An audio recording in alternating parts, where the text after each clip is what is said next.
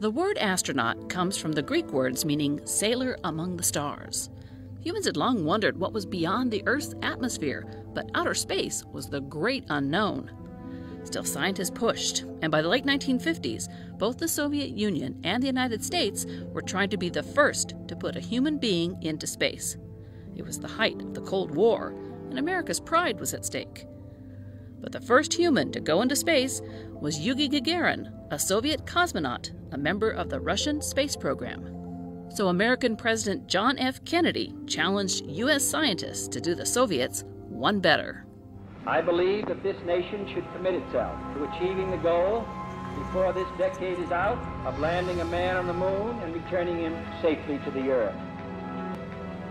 We choose to go to the moon.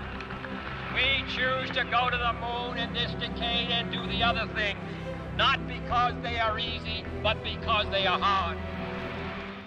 Alan Shepard was the first American in space. Godspeed, John Glenn. Eight, seven. And John Glenn was the first American to orbit the Earth. They were part of the Mercury project. Apollo astronauts trained to go to the moon. Millions tuned in and watched mission control and the progress of these space explorers. And on July 20th, 1969, Americans Neil Armstrong and Buzz Aldrin were the first humans to set foot on the lunar surface. That's one small step for man, one giant leap for mankind. In 1971, Edgar Mitchell landed on the moon as part of the Apollo 14 mission. Years later, Mitchell appeared on the first show of this series and explained what the moon was like. It's uh, like very, very fine talcum powder, but it's made of basalt rock or lava rock that's been pummeled and ground up by billions of years of meteor impact to a very, very fine pumice.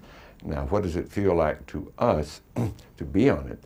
It's uh, kind of like uh, being on a trampoline where you can bounce up and down. It's, the reduced gravity is very light and uh, allows you to bounce, which accounts for the bunny hop that some of us use to locomote, or the long uh, sloping strides that others would use. Uh, you do feel light, even though we weighed 474 pounds earth weight. On the moon, it only felt like about 72 or 3 pounds. It takes a lot of training to go into space. There are two kinds of astronauts pilots and mission specialists. All American astronaut candidates should be U.S. citizens, have a college degree in engineering, biological sciences, physical sciences, or mathematics, have at least three years of experience in a STEM field or as a teacher. A master's and doctoral degree also help. Pilots have to have at least 1,000 hours of pilot in command time, and flight test experience is useful. All candidates have to be in good physical shape, have good eyesight, and good blood pressure, and they have to pass a rigorous physical exam. Astronaut candidates train for two years. There's time in the classroom, and they must complete military water and land survival training. They also have to learn to speak Russian, because now the International Space Station is a multinational cooperative effort. Once selected for a mission, astronauts have to learn more about how to work in space.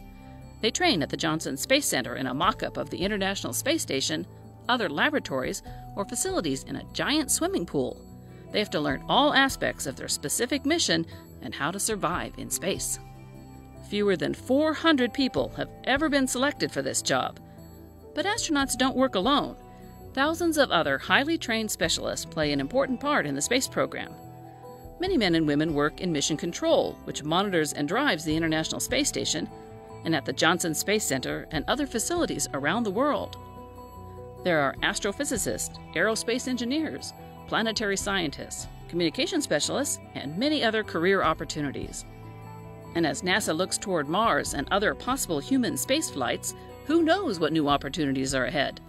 You may be among the next to explore our universe and be a sailor among the stars.